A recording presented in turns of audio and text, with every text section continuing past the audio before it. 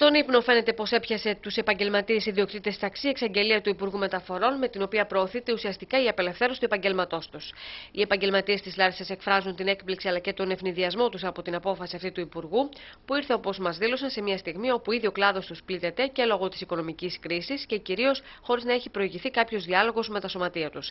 Ήδη με δυσκολία βγαίνει το μεροκάματο για όσους διατηρούν ταξί εδώ και χρόνια και έχουν πληρώσει μάλιστα όπως τόνισαν τις άδειές τους από 200 και 300 ευρώ. Οι νέοι που θα εισέλθουν στο χώρο αυτό πόσο θα αντέξουν; Έκανε μια δήλωση ο κ. Υπουργός, η οποία ήταν τελείως στον αέρα. Βγήκε και ακύρωσε ένα προεδρικό διάταγμα χωρίς κανένα λόγο, καμιά αιτία έτσι από μόνος του. Δεν ξέρω τι, τι σημαίνει αυτό, τι θέλει να κάνει. Αν αυτό που λέει ότι όποιος θέλει κάνει ό,τι θέλει, αυτό δεν είναι απελευθέρωση, είναι μπάχαλο. Εσείς θα προβείτε σε κάποιες κινητοποιήσεις, γιατί είστε και επαγγελματίες.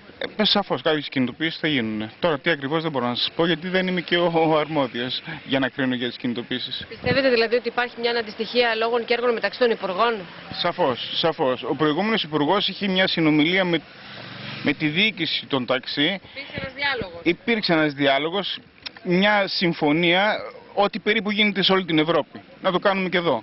Αυτό εδώ που θέλει να κάνει αυτός ο άνθρωπος, αν είναι αυτό που θέλει να κάνει, μόνο τριτοκοσμικά. Δεν ξέρω αν υπάρχει κάπου. Αξιοκρατικό δεν είναι σίγουρα. Ε, τώρα νομίζουν ότι θα λυθεί το πρόβλημα με αυτήν την κίνηση που κάνουν, να το κάνουν. Να δούμε πού θα βγει. Θα πεινάσουμε εμείς, θα πεινάσουν και οι καινούργοι που θα βγουν. Βλέπετε ότι η δουλειά έχει πέσει πάρα πολύ.